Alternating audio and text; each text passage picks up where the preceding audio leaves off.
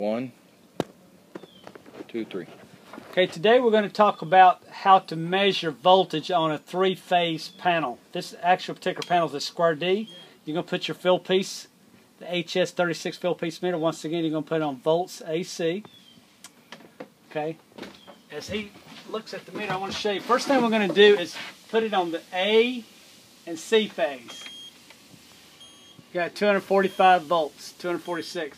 We're going to go to the A, excuse me, the B and C phase.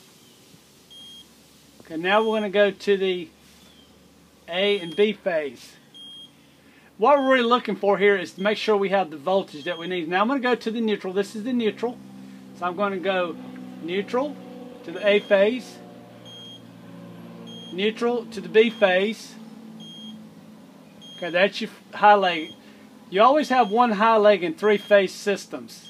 It's usually the B phase by coding. That's actually what it's for the National Electrical Code. It has to be the B phase, and then on the C phase. So that what this tells me is we have a 240 three phase balance system. It's what we call the delta system.